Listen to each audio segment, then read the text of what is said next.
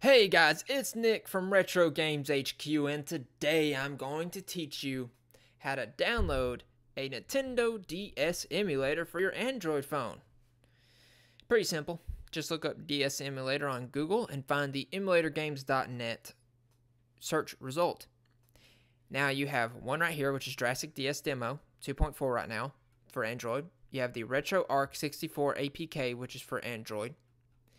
Uh, and that is the two you have the choice of is the DraStic demo, uh, DS demo and the RetroArch 64 APK. Now you just on your phone you'll have to click it. 152 3.9, not bad. You just download emulator. That's how you download it. That's how you get the emulator on your Android phone. Now, if you want to get ROMs, you're going to have to look up ROMs specifically for Android, you know, and just be like, hey, uh, DS ROMs Android. But that's all I got for this video. I'll see you in the next one. So retro on.